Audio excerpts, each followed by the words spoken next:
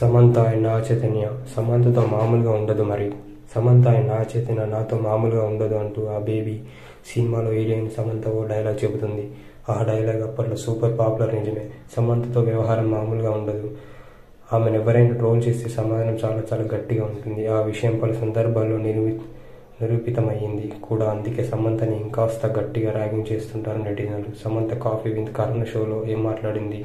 అన్న దానిపై భిన్న వాదనలున్నాయి అక్కినేని నాగచైతన్యతో విడాకుల గురించి వాస్తవాన్ని సమంత చెప్పినట్టు మీడియాలో కనిపిస్తున్న ఊహాగానాలతో అక్కిని నాగచైతన్య అభిమానులు గుస్సవుతున్నారు. నాగచైతన్య ఫ్యాన్స్ ట్రోలింగ్ సమంతపై సమంతపై నాట్ నాగ చైతన్య నిజానికి ఇలాంటి సందర్భంలో కొందరు అగ్నికి అజ్యం పోసేందుకు ప్రయత్నిస్తుంటారు. ఆటోమేటిక్గా సమంత అభిమానులకి నాగ చైతన్య అభిమానులకి మధ్య ఆ వ్యవహారం మరింత మధిర పాకాన పాడుతుంది. సో ఇప్పుడు అదే జరగబోతుంది. అయితే ఈ మొత్తం వ్యవహారంలో నాగ చైతన్య తనకేమీ పట్టనట్లు వివరిస్తుండటం అభినందనమే. నాగ చైతన్య ఫ్యాన్స్ ట్రోలింగ్ సమంతపై అనవసరంగా ట్రోల్స్ మీద స్పందించడం మానేస్తే బెటర్ అన్న వాదన కూడా లేకపోలేదు. కానీ సమంత తగ్గేదిలే అంటుంది.